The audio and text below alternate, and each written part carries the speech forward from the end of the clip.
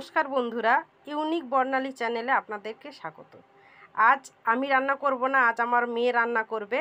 তো চলুন দেখি আমার মেয়ে কি রান্না করছে, আপনাদেরকে ওই বলবে। হ্যালো তো আজকে আমি চিকেন কষা ট্রাই করব। মাকে দেখে যেটুকু শিখতে পেরেছি। তো প্রথমে আমি একটু আলুটা ভেজে তুলে নেব। প্রথমেই আমি সর্ষের তেল দিয়ে দিচ্ছি খানিকটা গরম করার জন্য।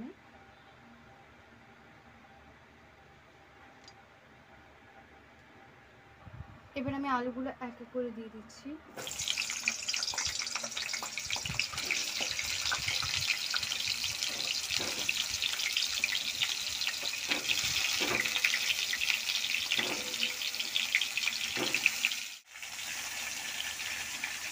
এরপর খুব অল্প পরিমাণ নুন দিচ্ছি।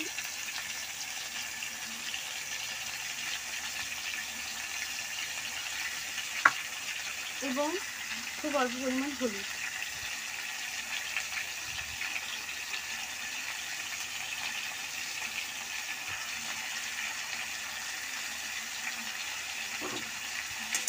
এটাকে আমি ভালো করে মিক্স করে নেব।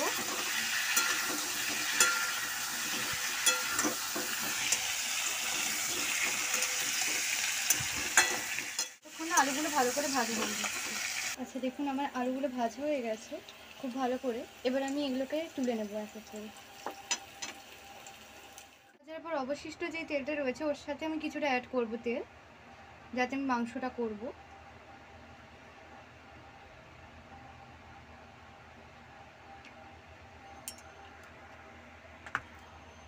এই তেলটায় আমি সামান্য একটুখানি চিনি অ্যাড করছি। যতক্ষণ তেলটা গরম হচ্ছে, সামান্য। কাল, যাতে মাংসের কালারটা আরও বেশি ভালো করে ফুটে ওঠে, তাই জন্য। এবার এতে আমি ততক্ষণ বলে দিই, তেলটা গরম হতে হতে যে আমি এখানে মাংসের জন্য কি কি নিয়েছি। আদা, রসুনটা এখানে একসাথে পেস্ট করে রেখেছি, পেঁয়াজ বাটা, গোটা কাঁচা লঙ্কা, পেঁয়াজ কোচানো এবং টমেটো কোচানো। আর ওপাশে আমি মাংসটা আনার সাথে সাথেই ভালো করে ধুয়ে নিয়ে কিছু দিয়ে ম্যারিনেট করেছিলাম। এবার সেটা হলো সামান্য নুন, হলুদ এবং শুকনো লঙ্কার গুঁড়ো দিয়ে ম্যারিনেট করে রেখেছিলাম আধ ঘণ্টার মতন। এছাড়াও আমি হচ্ছে লাস্টে ফ্লেভারের জন্য অ্যাড করব কাশ্মীরি রেড চিলি পাউডার শুধুমাত্র ওটা কালারটাকে আরও ভালোভাবে ফুটিয়ে তুলবে আর হচ্ছে চিকেন মশলা। তেলটা এখানে খুব ভালো করে গরম হয়ে গেছে, ফুটছে। এবার এতে আমি পেঁয়াজ কচিগুলো দিয়ে দেবো।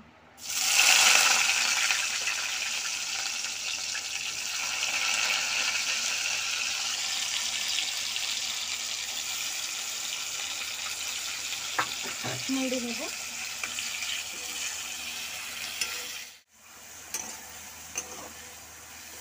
লাল হওয়া পর্যন্ত এটাকে আমরা ভালো করে ভাজতে দেব, যাতে এটা সামান্য বাদামি কালারের হয়ে যায়। দেখুন, পেঁয়াজগুলো খুব ভালো করে ভাজা হয়ে গেছে বাদামি কালারের এবার এর সাথে আমি গোটা চার পাঁচেক চেরা কাঁচা লঙ্কা, যেগুলো আগে থেকে রেডি করে রেখেছিলাম, সেগুলো দিয়ে দিচ্ছি। এবং এর সাথে সাথেই পেঁয়াজ বাটাটা আমি অ্যাড করে দিচ্ছি। ভাজতে একটু সময় লাগবে এগুলো।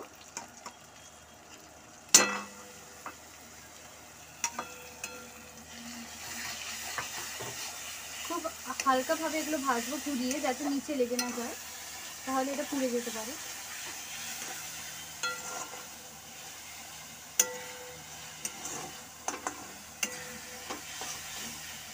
আঁচটা আমরা মিডিয়াম ফ্লেমেই রাখব। নইলে খুব বেশি জোর দিলে বা খুব বেশি হালকা আঁচে করলে এটা ঠিকমতো হতে পারবে না।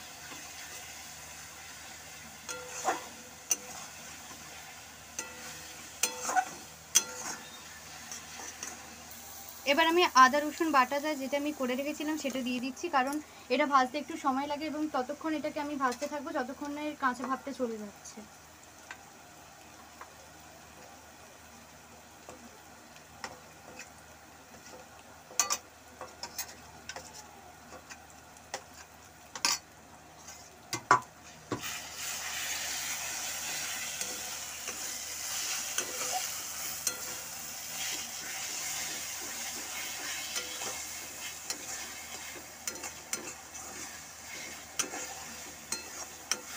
এবার আমি এটা কেটে রাখা টমেটোগুলো আস্তে আস্তে দিয়ে দেবো।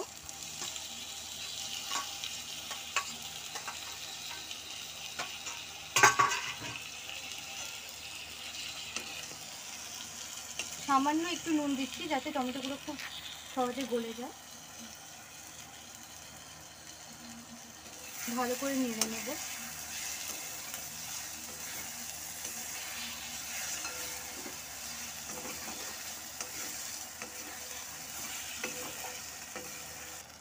আমার আদা, রসুন, টমেটোটা দেখতে পাচ্ছেন। মোটামুটি ভালো করে কষা হয়ে গেছে। এবার বাকি যেগুলো প্রয়োজনীয় সেগুলো আমি দিয়ে দিচ্ছি। প্রথমেই নুনটা দিয়ে দিচ্ছি টেস্ট হিসেবে।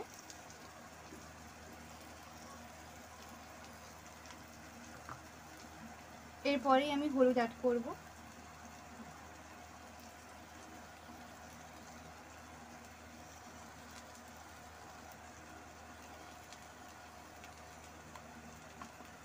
এগুলো একটু ভালো করে নেড়ে নিয়ে।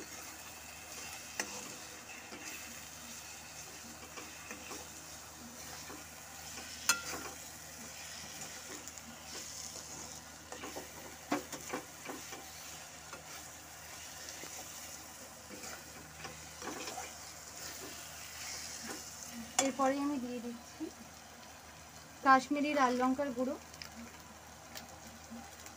কালারের জন্য, যাতে কালারটা আরও ভালো করে ফুটে ওঠে। খুব সামান্য।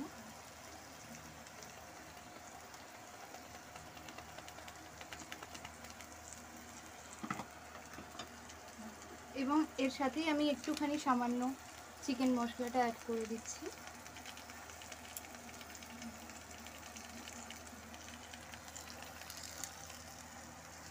এগুলো ভালো করে মিশিয়ে নেব।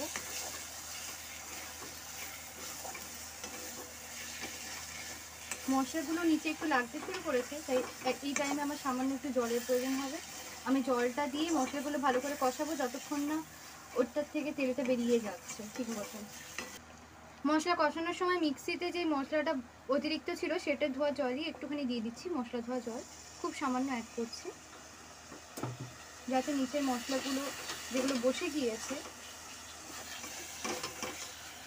সেগুলো ছাড়তে সাহায্য হয়।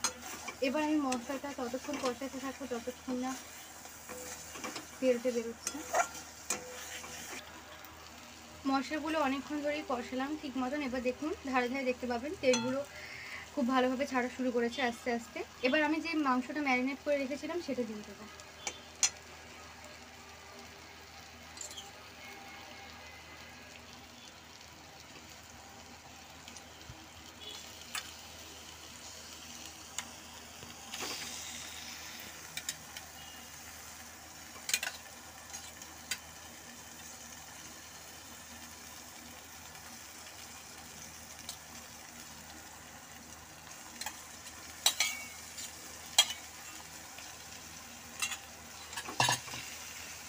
এটাকে আমি ভালো করে মিশিয়ে নেব।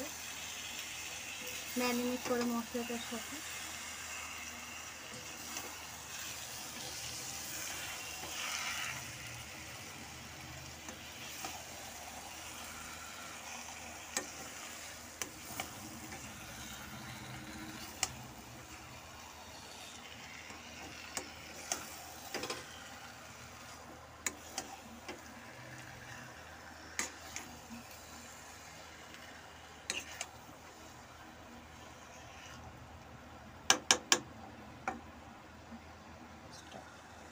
আমি মাংসটাকে খুব ভালো করে মিশিয়ে নিয়েছি মশলাগুলোর সাথে। এবার এটাকে আমি আস্তে আস্তে চাপা দিয়ে ভালো করে কষে নেব, যাতে স্টিমে এটা ভালো করে সেদ্ধ হয়ে যায়।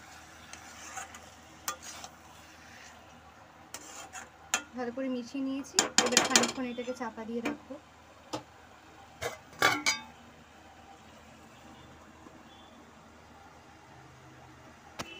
আমি এবার চাপাটা করে দেখছি। দেখুন, মাংসটা আমার ভালো করেই কষা হয়ে গেছে প্রায়। এবার এতে আমি ভেজে রাখা আলুগুলো আস্তে আস্তে দিয়ে দিচ্ছি। এবং মিশিয়ে নিচ্ছি।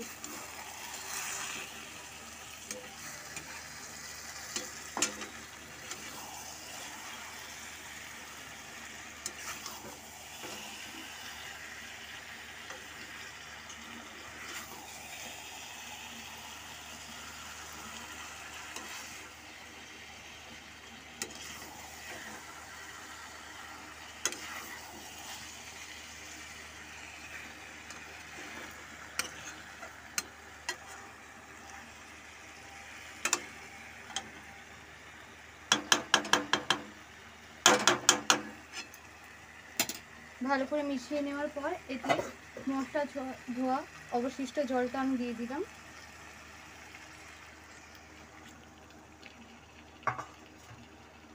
নেড়ে নিয়ে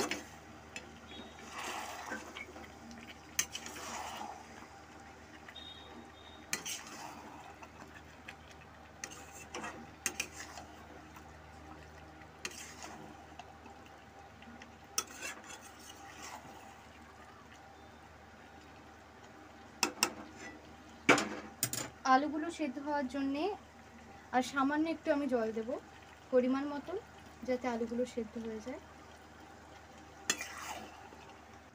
পরিমাণ মতো জল দিয়ে দিয়েছি। এবার এর ওপর থেকে আমি সামান্য চিকেন মশলাটা ছড়িয়ে দেব। দিয়ে এটাকে আমরা চাপা দিয়ে দেব ভালো করে হয়ে যাওয়ার জন্য। ব্যাস। দেখুন, আমার মাংসটা অনেক ভালোভাবে সিদ্ধ হয়ে গেছে, সাথে আলুগুলো। মা বলল যে একটুখানি রসাটা রাখতে, তাই জন্য আমি রেখেছি। এবার আমি মাংসটা পরিবেশন করব নামিয়ে। তো আমি মাংসটি পরিবেশন করে নিয়েছি, দেখুন, যতটা পেরেছি চেষ্টা করেছি মায়ের দেখে করার। যদি ভালো লেগে থাকে, তাহলে অবশ্যই ইউনিক বর্ণালী চ্যানেলটি সাবস্ক্রাইব করবেন এবং লাইক আর শেয়ার কমেন্ট করতে ভুলবেন না।